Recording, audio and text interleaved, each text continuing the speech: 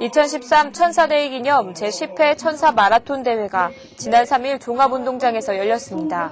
천사 마라톤 대회는 동두천시와 희망지킴이 천사운동본부, 스포트 서울 미디어가 공동 주최하는 행사로 많은 시민들이 함께한 가운데 성황리에 열렸습니다.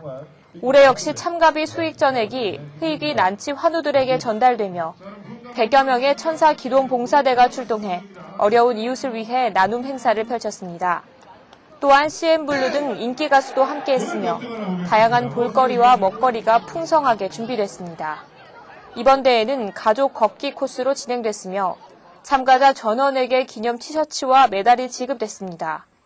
또한 참가자들에게는 4시간의 자원봉사 활동 시간이 주어지는 등 마라톤의 참된 의미를 되새기는 시간이었습니다.